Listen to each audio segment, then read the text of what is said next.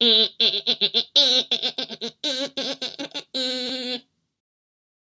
everybody and welcome back. Uh, today we're going to make this stylized ice flow material and it's an exercise in a couple of things. It's an exercise in using gradient maps for our color as well as to make highly specific cutouts for our blending.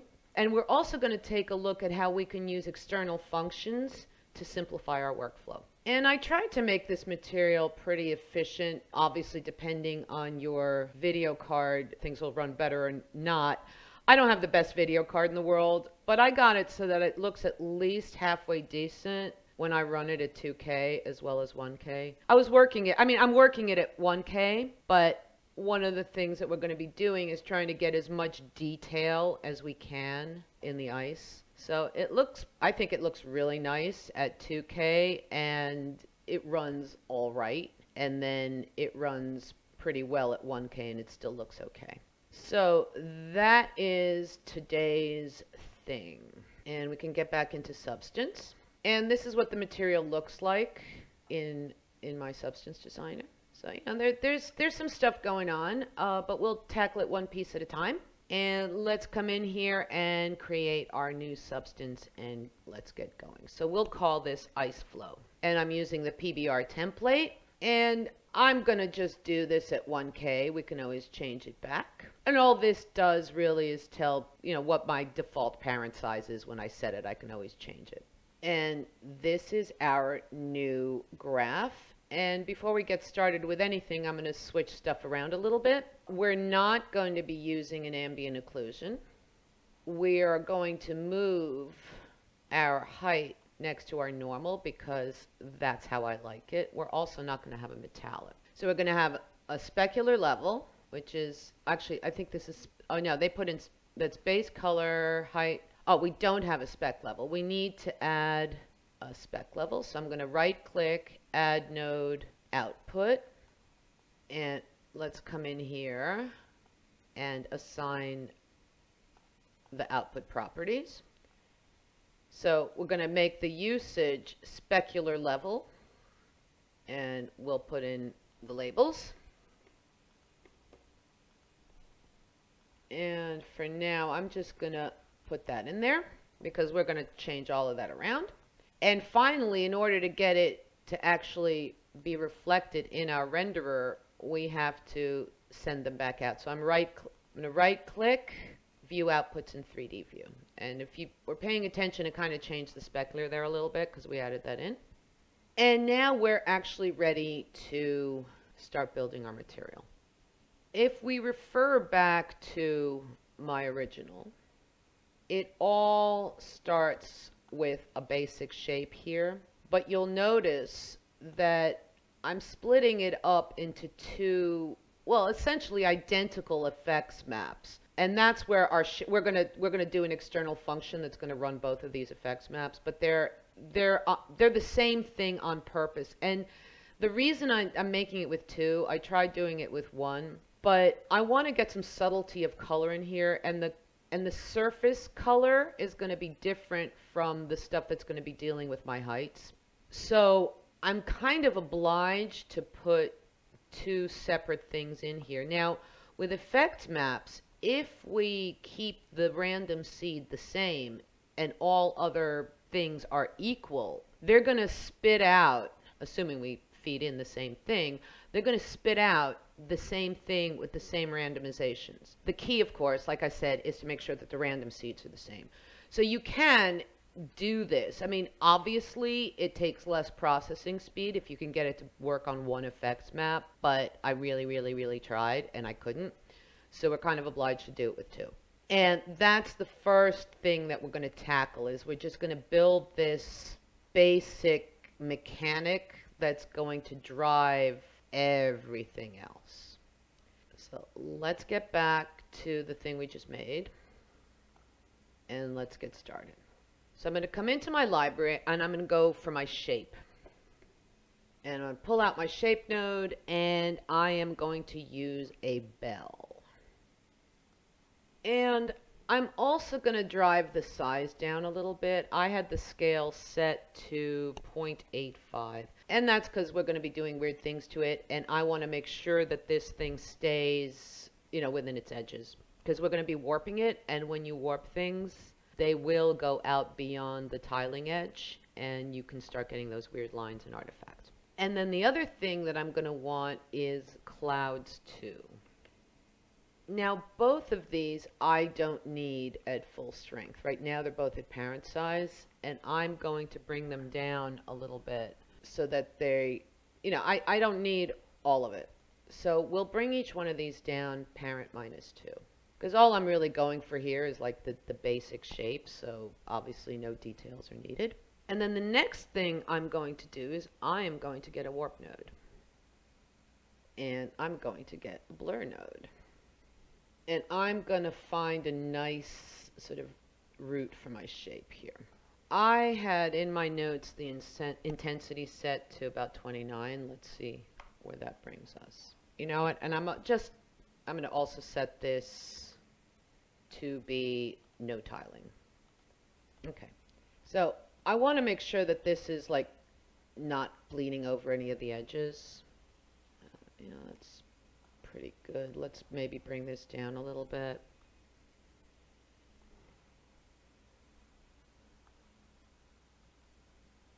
And I'm going to get another warp node. This is a nice new thing with the with the latest version. You can just drag out a noodle and it'll ask you where what you want to put there. So I'm trying to get into the habit of that. I think it, it, it helps with the workflow. And I've got this first one and I'm just going to do the same thing again to it. I'm just going to double warp it. Because I'm trying, this is kind of like my basic ice island shape. But what I am being careful about is I, I want to make sure that I've got nothing going over my edges here. I'm kind of close. Uh, I think that's okay because the next thing we're going to do is we're going to bring in a levels node here and we're going to clean up anything that's super close. But I don't see anything going over the edges. By the way, the way I did this, uh, the space bar uh, is going to do that for me. Let's get a levels node. And now I'm going to bring the levels of this up so that I get this nice white mask shape that I'm really happy with. I, I want very little grayscale here.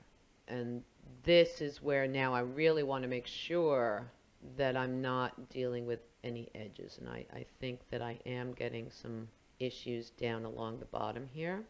So I can I can handle that in a couple of different ways. I can bring down the warp. That's all right.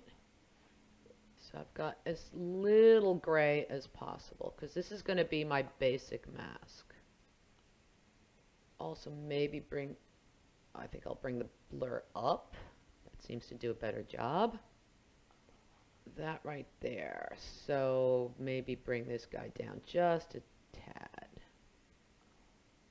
because wherever it hits that edge, it's going to give me a, uh, a straight edge. So, I mean, if it's like super small like that, I don't think it's really going to make that much of a difference because that's, that's a straight edge right there. I think that's the only one we've got here. I can probably live with it. That's better. You know, as long as it doesn't read as a straight edge, it's fine. All right, so we now have this basic blob shape that I'm happy with. And this is what we're going to end up feeding into our various FX maps. And we're, go we're going to have two versions. So we're going to have one that's going to deal with, um, for lack of a better word, height. I mean, it will affect other things, but it's going to be, you know, so the basic height version. And then we're going to have like this surface version that's going to have scratches, etc. on it. And before we plug them in, I, we, you know, it's we might as well just build them. And we'll start with, let's start with the height. And for that, I had crystals, I forget the number, but it's this one, crystals 1. And I made this parent minus 1.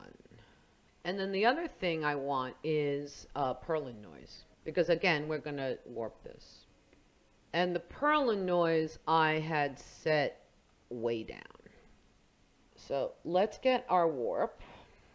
And I'm going to use, I'm actually going to end up having to get two crystal ones in here. We're going to get another one later on.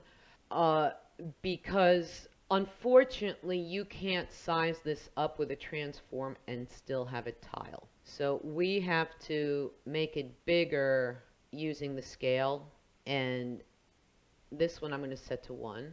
No, sorry, this one I'm going to set to 6. I'm looking at my notes because I want these rather large. This is going to be sort of the, the, the big chunks, so these things here. So we want them nice and big. And we're also going to warp it against the Perlin, which is also going to be much bigger. So I had the scale down as 5. And the warp I had set at about 6. So it's not, you know, it's not quite so straight.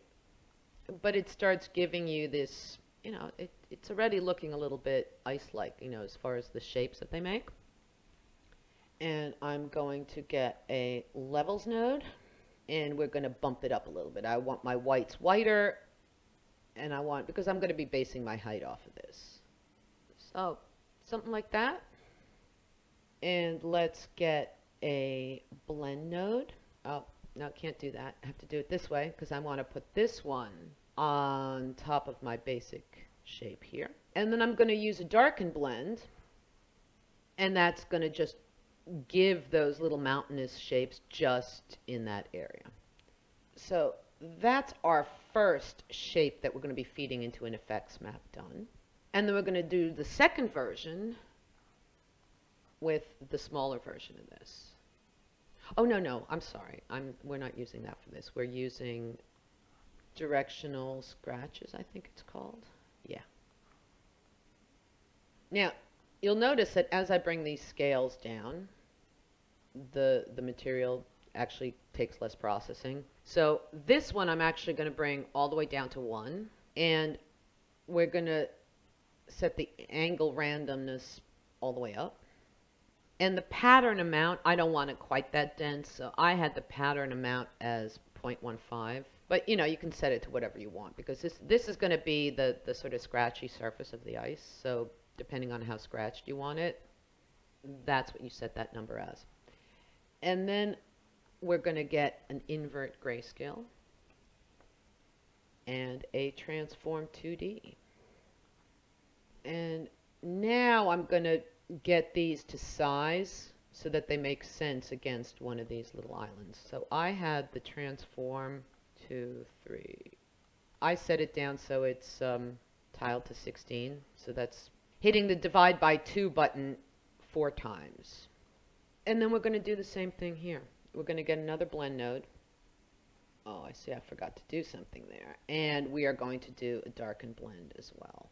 I just realized that we never set this back up. So I'm going to come back to this first warp node that it hits. I want to set the parent size to relative to parent. And I don't need to do it to this one because it's always going to get its input information from the from the node that's got that little dot in it. So it's getting its input information from here. So it really doesn't matter that this one is not parent size because it's going to get it from this one. So everything down this chain now is at our parent size, which is here. And we can always switch it back. And this one we're going to leave at parent size, and then I think we brought this one down as well, so we're going to have to switch this, and let's do the same thing here, and we're all squared away. Okay, so we're ready to put these guys into an FX map. So I'm going to grab one and I'm going to set it to grayscale and I'm going to do input image and let's right click and edit our FX map. I'm going to highlight this, I'm going to hit the space bar and I'm going to put in two quadrants. The other thing I'm going to do is I'm going to right click, I'm going to add an iterate node and I'm going to turn that into my root. And then I had the iteration set to 2. So might as well just set that in. All right, now normally the next thing we would do is we would come into our color luminosity channel and start building our functions in here. But as I mentioned at the beginning of the video, we're going to make an exterior function that we're going to share in here. So rather than starting doing stuff in here, we're going to set it up first. I'm going to create the input image. I'm going to have the input image go in there. And I am going to be affecting the pattern offset, the pattern size, and the pattern rotation with the functions that I'm going to be making later. So all I'm going to do right now is I'm going to just create an empty function and I'm going to put in the variables that I need, even though I haven't created them yet. So my pattern offset is going to be a float 2, and I'm going to just manually type in pattern offset, and I'm going to set that as the output node.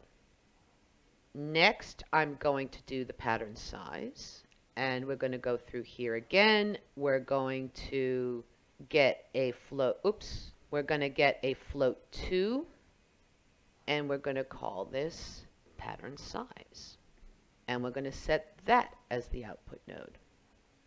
And finally, we're going to do the same thing with pattern rotation, except for here, it's a float 1.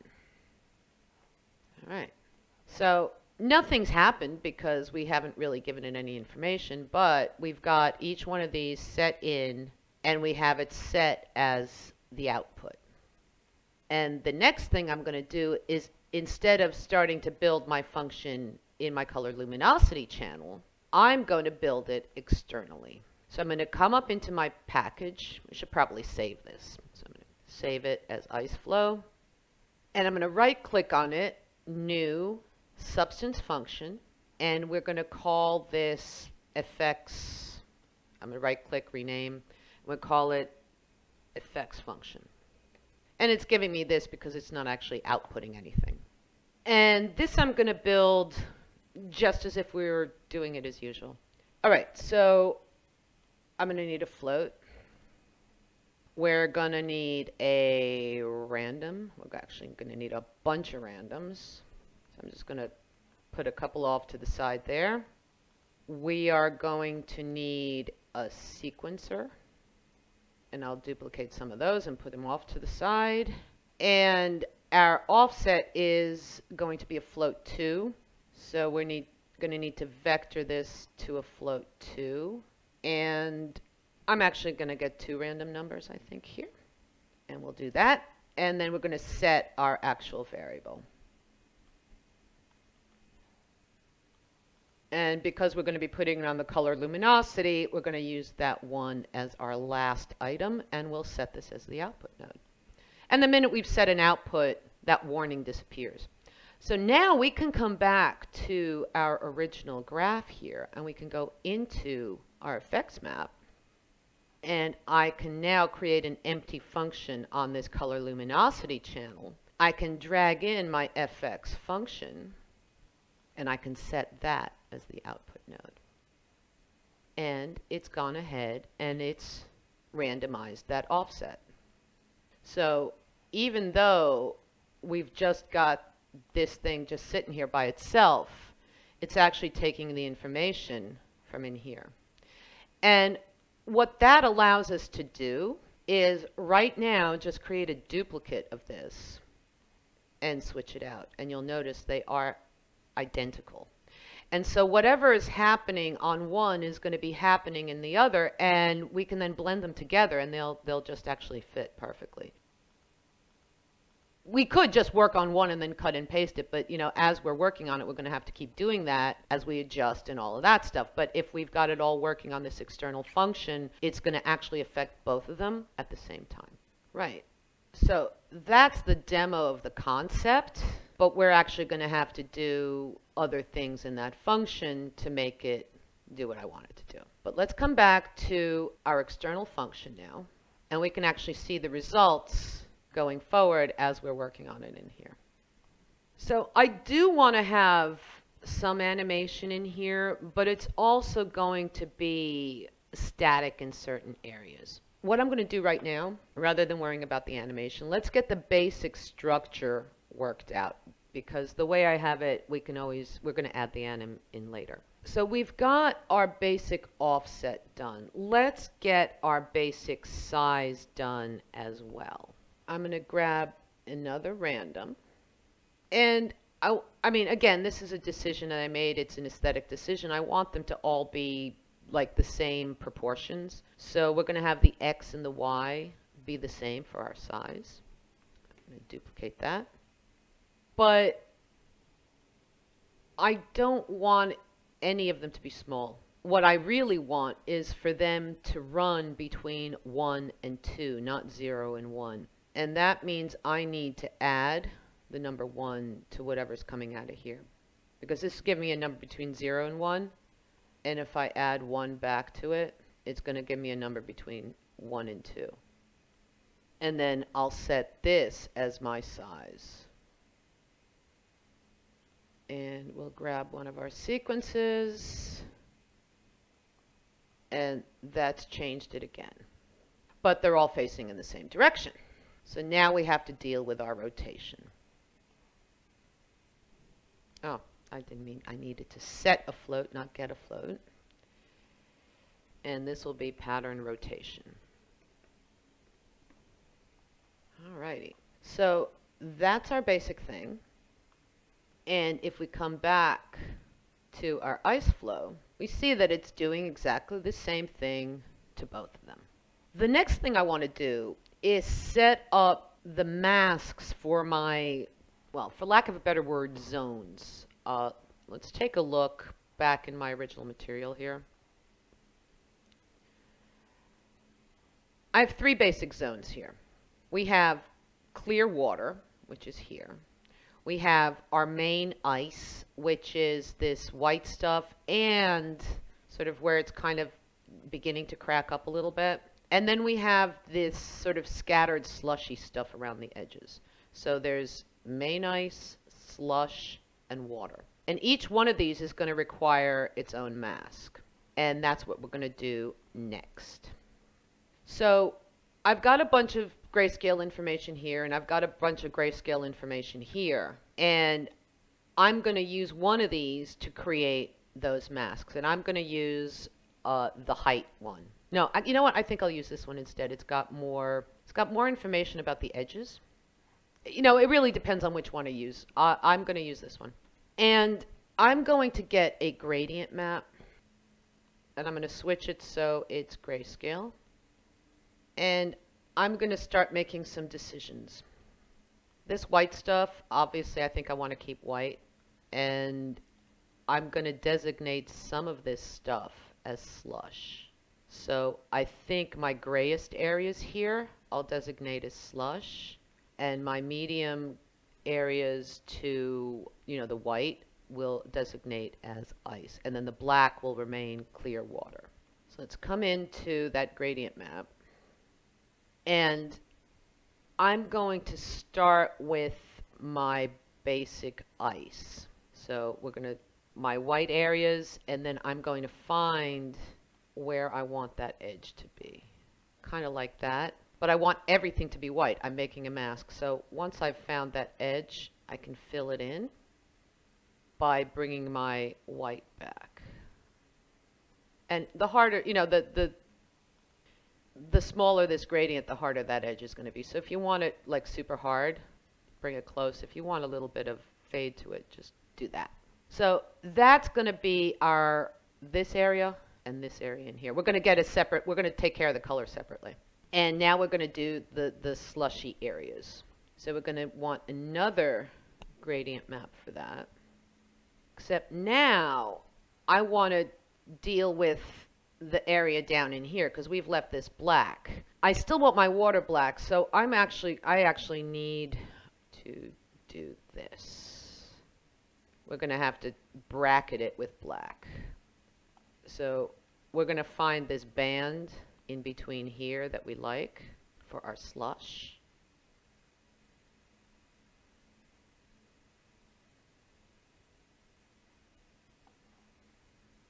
I'm going to right I mean I've got I've got the basic thing now. I want to see what they look like together and I'm just going to do this quick and dirty blend here where I'll I'll just see what they look like on top of each other I Should probably want to do it the other way around.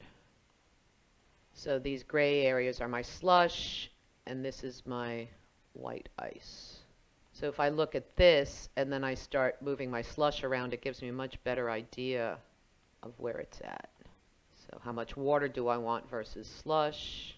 And then how much ice do I want versus the slush? So it, it's just a way of visually looking at it as you're doing it. I think I, I'm, I'm quite pleased with that. So these gray areas are going to be that, you know, the little floaty bits, and then this is going to be the more substantial ice. All right. I think it's time probably to put in some labels here. So we've got our ice height, and then we've got our surface, and this is our ice mask and our slush mask. And we can get rid of that. So right now, this stuff is all solid. I mean, it's this now. Uh, and what we need to do is we need to turn it into this, you know, these dots. So we're going to create a separate mask that's going to do just that. And for that, I'm going to get a Gaussian noise. And I'm going to get a levels node. And we're going to create some of those dots. And now we're just going to make them smaller.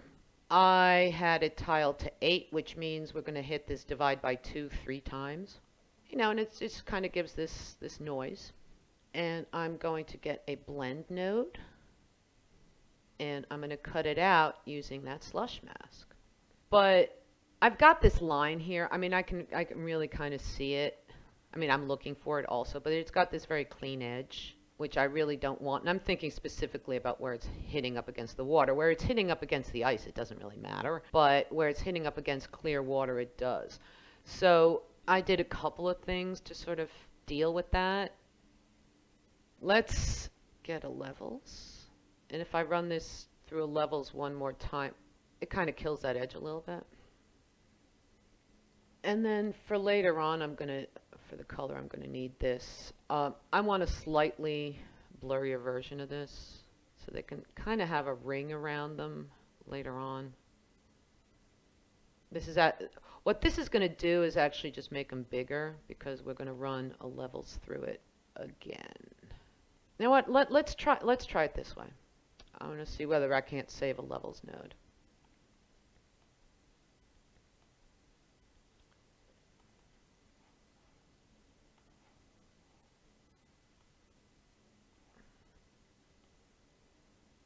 No, I don't like it. I'm going to backtrack out of here. And I think we're going to use it like this. We'll save that for later.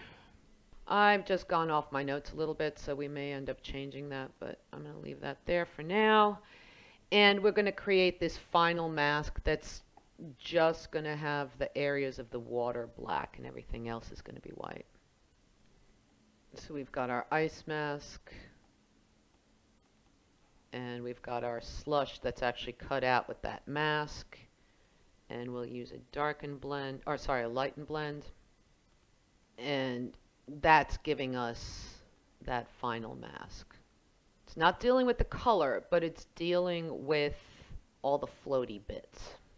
So I'm gonna take a look right now. I, I'm looking at these edges now. Now that I can see where my ice is like I'm not liking this too much so I think I'm gonna come back here. Again, we can come back to it later, but it's starting to look like something now. So I'm going to put a frame around this and I'm going to call it water mask. And I think at this point we can start to put some animation in here.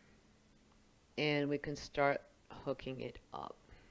So let's pick one of these things here to look at that will give us the most information as far as what we want to see animated. I think I'm going to go with this ice surface one again. I just want to see how it moves. I'm going to put it in my color right now.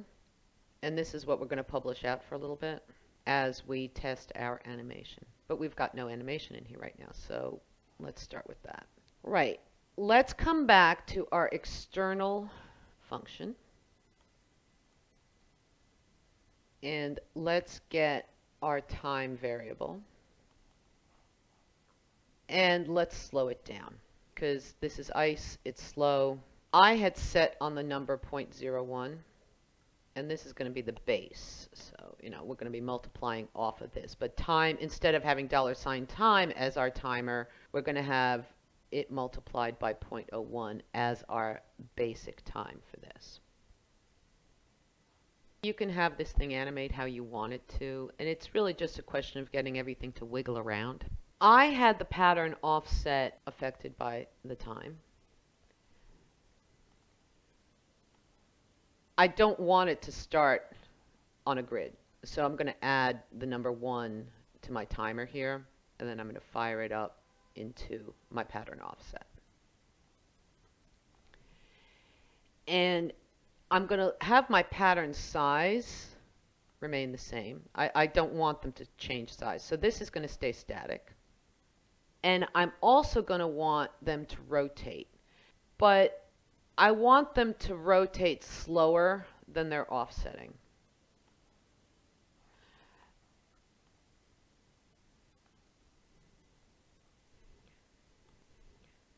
And I'm going to just have them go at half speed.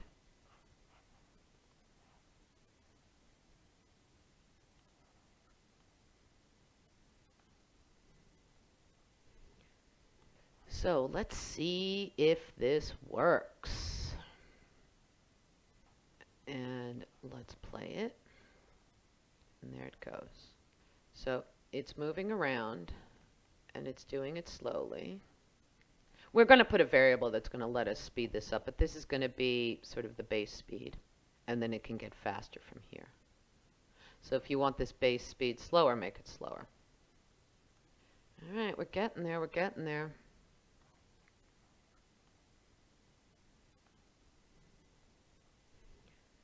So I'm going to double click on my graph and I'm going to create an input parameter. Now, every time you put an input parameter into your material, it requires more processing. So the less of these things you got hanging around, the quicker your animation is going to work. So I, I really want to keep it down to a minimum because I, I want to be able to do this at as high a res as I possibly can. And I want to be, I mean, the main movement I want to see with this ice is I want to be able to move it in X and Y in both the positive and negative directions because that's going to give, you know, it's going to cover all my bases as far as, you know, moving the ice flow. This churning around that we just put in here, we could put a separate variable for that, but I'm not going to do that. I'm going to have it work off of whatever my overall ice speed is. So we need to make that first. So we'll make our ice speed variable, and I'm going to make it a float 2. And this is going to let me deal with my x and my y. And we'll have our defaults as 0 and 0. And we'll have our minimum as negative 1. And we'll have our maximum as positive 1. And then we can make our labels. We can do speed x and speed y. So that's our variable. But this is in our main graph. And our shared ice FX function is separate. So we're going to have to treat it a little bit differently. For starters, if we come into our FX map here, we will see that we've got no way to, to deal with you know, that input. So we're going to have to take care of that. I'm going to come back into my shared function. You'll see that in the function itself, it also has input parameters and I can create an input here. Now, I created in IceFlow right now, we, we, we need a float 2. So I'm going to create a float 2 input in my external function. And we're going to get our float 2. This works just like the main graph. So we've got our input. I don't think we named it. Hold on a second. Yeah, we didn't name it. Oh All right, so we'll call this ice speed. And if I come back into here, and I come back into my FX map, I now have ice speed is a thing here. And I can get my variable, get float 2, ice speed, and I plug it in there. And I'm going to copy this, and I'm going to do it to my other FX map too. So what we're doing in essence is we're, we're taking, we're, we're taking information that we're getting from this node here when they're just flowing it through this node and then putting it back out again. And we can now come back into our external function and we can tell it what to do with this parameter that we will be inputting. So we've got this x speed and this y speed. And in terms of actually moving it, the overall material, that's useful. But in terms of getting it to just kind of slowly churn and stuff, I don't really want it to go via the x and the y. I just want it to kind of speed up as my x and my y get bigger, but it's not really, I mean, it's only loosely connected. And so what I'm going to really do is, I mean, it's relatively straightforward. I'm, I'm kind of sort of finding an average.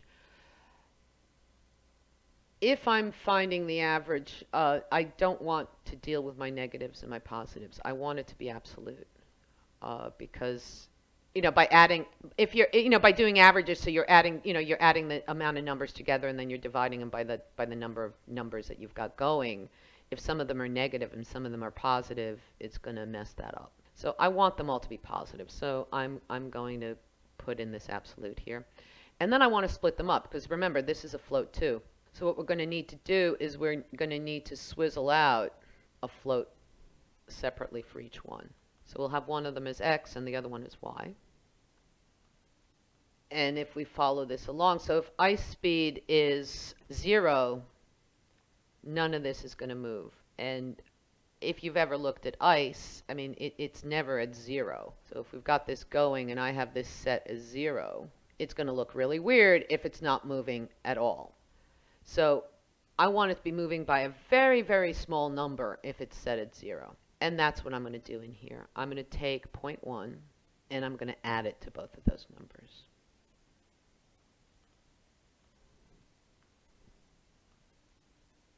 So we're now going to add these together. Now we're making our average, okay? So we have our two numbers. We have our x float and we have our y float. So that's we're, we're adding those two numbers together. And then we're going to divide it by 2 because there are two of them. You could divide it by 2 or you can multiply it by 0.5. I don't care which one you do.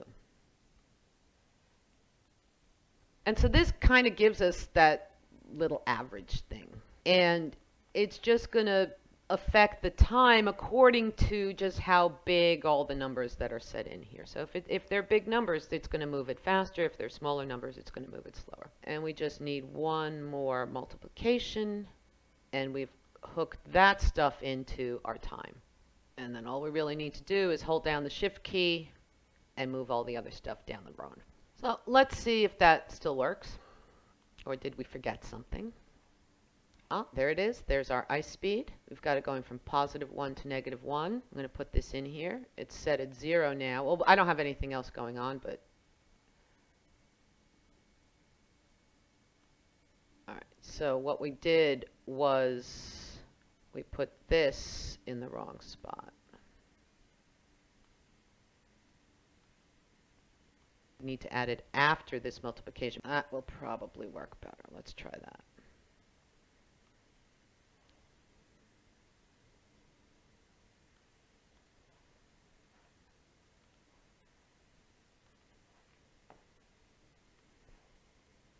Yeah, you see, ever so, it's moving just a little bit.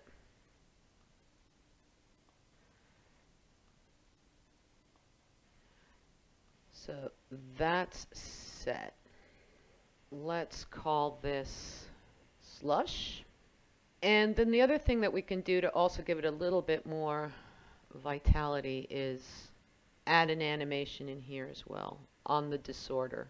So come in here, empty function, and we'll just have it wiggle around ever so slightly. And let's hook that bit up because right now it's not hooked up.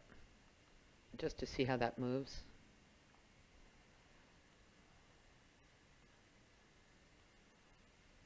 So this is at zero. I mean, we don't have colors in here, so we can't really see them moving, but, but we've got the slush is kind of wiggling around a little bit. Ah, so far so good. Okay, one more thing we need to hook up in here, and that is just our clear water, which again is, I mean, we're, we're spending exactly zero time on that. I'm just going to get a Perlin noise,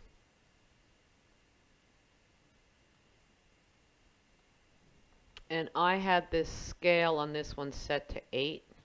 And in fact, we're just going to copy this. And we're going to put it on this disorder as well. And that's our water. Okay, so we're almost there as far as getting all our masks done for this thing. The one final one that I want to get done right now is I want to create a separate height map, uh, height mask rather, for, for what's going on here with the slush. Because I kind of wanted to move it a little bit more independently from what's going on with the main ice. And it's not wanting to be as flat as the water either. I, I do want to differentiate it. So, you know, we're going to have this nice smooth roll here with this water. And I kind of want to make it more crackly where this slush is appearing. So that's going to require one more mask. We're going to come back into the library and we're going to get those crystals again. This crystal one. And I had the scale set at 16. And the other thing I want to do, well, you know, let's, let's hook it up first, then we'll put the animation on because it's also going to have its own little animation. We're going to get a blur and we will fuzz it up ever so slightly. I had 0.3 set in here. Take the edge off a little bit and let's get a transform 2D node and we're going to make it a bit smaller. So I had just cut it in half and then we're going to get a blend node. And we're going to kind of mix these two together. I just did it with the opacity. I left it at copy and I brought the opacity down to pretty low. So what we're doing is we're taking this bigger one and we're just kind of breaking it up a little bit. And then we can get a levels node and, you know, just make it so we can use it as a mask. Well, it's a height map actually, sorry. Give us some nice heights. And we're also going to use it, I believe, for normals, or at least mixing it. And that's the basic setup. But I also want to affect the disorder. So we're going to come in here and create an empty function. And I'm going to kind of go with the same idea that I had in the in the external function that we made.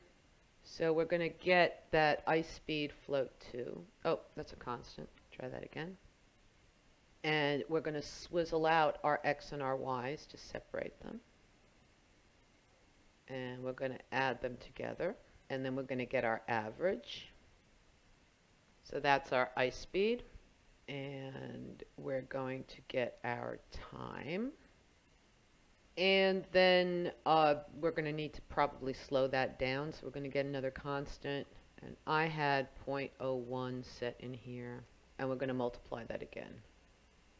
So we've got our ice speed, and we're breaking up the, the, the float 2 into two separate float 1s. We're going to get the average of those. So we add the two numbers together, divide by 2, or multiply by 0.5. Then we have that attached to the timer. And then whatever that time is, we slow it down. And then we set that as our output node. And we can call this slush height and we're not actually going to set up the heights until the next part, but I want to take a quick look at this and make sure it's running according to how I want it running. I'm going to take a quick look at this. Uh, how are we're going to do that. You know what? Let's just get another blend node for right now, and we'll make a quick test right now. So I'll put that according to the slush. So we'll use the slush mask for that. And let's put in this thing for the ice just so we can see what's going on. No, it's not going to show me what I want to see. Well, yeah, it will show me what I need to see. I just want to see how this anima how quickly that animation is working.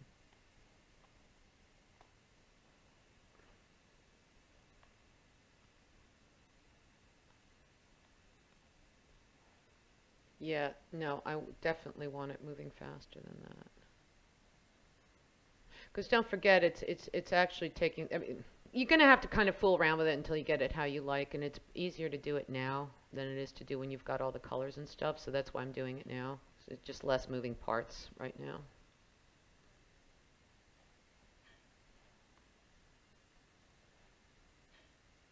No, that's too fast. Oh, because it's, because it's not point 0.1. Okay, let's try it again with point 0.1.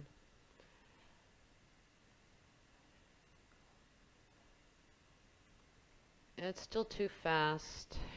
Oh, I think I know what the problem is. Okay, let's let's tweak this now.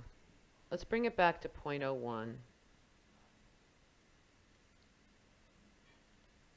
Okay, so that's it it's giving us truly zero when when when we have zero. Now if I get these both to go up to 1, it's still too slow. Cuz I'm thinking rather than getting an average on these because it, it does slow it down because like if I have one of if I have one of those directions at zero it's going to give me a much lower number. So I think I'm going to not do what my original notes did.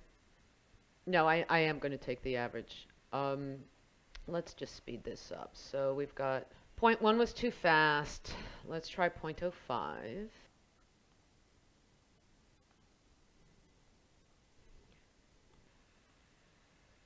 Yeah, that's the fastest it will ever be, like one and one. So if I got one and one half, that's okay. Yeah, let, let's go with 0.05 for that number. All right. So this is actually not anything we're going to use. That's it for this video. So in part two, what we're going to do is we're going to take these masks that we've created and we're actually going to plug them into our normals and heights and colors.